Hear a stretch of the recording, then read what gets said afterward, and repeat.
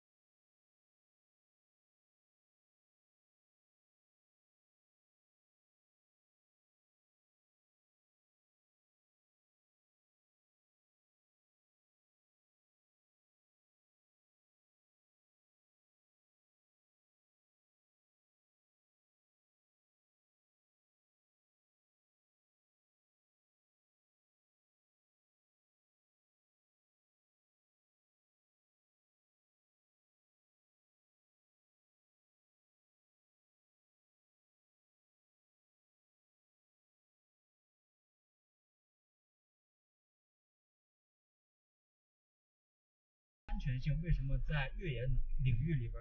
坦克把它看为第一？这个也就是长城一直说的“先越野再新能源”。所以说，它整个这一套思路啊，都是在尽可能的去保证大家在这种高频的或者比较复杂的越野工况，有一个十全十美，然后不太会受环境所限制的这么一个状态，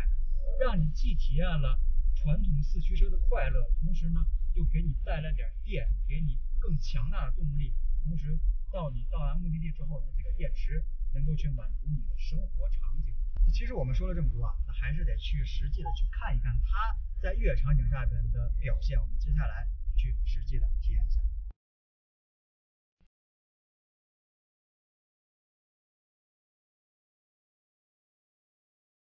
那么我相信啊，对于很多男孩子来说，开一台越野车啊，去豁泥，然后上山爬坡是一件非常快乐的事啊。整个路况呢是一个非常湿滑的这么一个情况啊。这台车呢，它其实和我们市面上常见的那种纯电动的四驱车，或者是号称混动的越野车来说，有一个本质上的差别，就是它有一套纯机械的四驱系统，它有传动轴，它有分动箱，也就是说。在你完全没有电的时候呢，这台 2.0T 的发动机不差于坦克300的这个发动机啊，它也能够去帮助你完成一个四驱的一个脱困或者是一个穿越。P2 这个布局呢，其实很多人会觉得它没有比亚迪的那套 P1 加 P3 来的电感那么的明显。那的确啊，它 P1 加 P3 呢，它确实电感更明显，然后在能耗上面更有优势。但是呢，P2 的这个单电机的布局呢，其实它也有它自己的优势。你这个电池足够大的时候，那 P2 的这个布局就可以做很好的 SOC 的策略，去尽可能的让你这台车有很好的电感的行驶状态，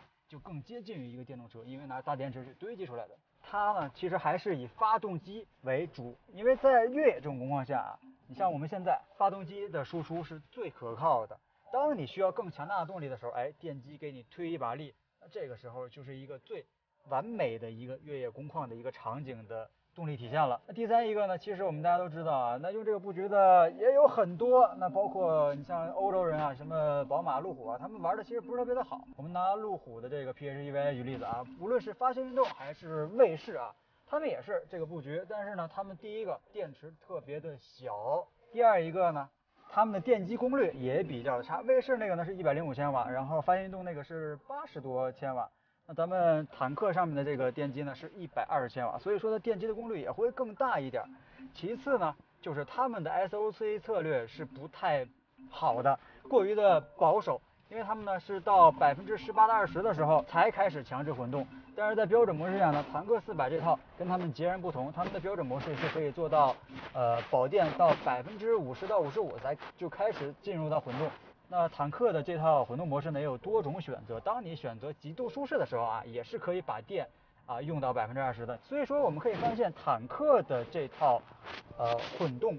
四驱越野的逻辑，和我们之前了解的所有的混动越野车，它都不太一样啊。那体感上呢，也会更加的出色一些。我们可以看到，我们在这些呃比较复杂的这些工况下啊，那整台车的这个通过能力还是比较明显的啊。它的接近角是三十三度，离去角是三十度。那么这样的一个数据，对于这台车来说，其实啊是一个怎么说？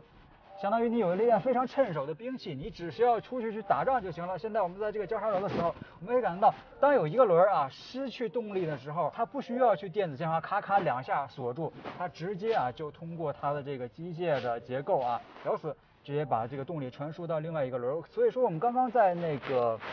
交叉轴的时候，并没有感受到这台车辆的一个。明显的打滑行为，还有一个动力丢失的这么一个行为，所以说我们可以感受到这台车在越野上面的功底还是非常之强大的。接下来呢，跟大家复盘一下这台车静态方面的表现啊，其实坦克呢还有一个。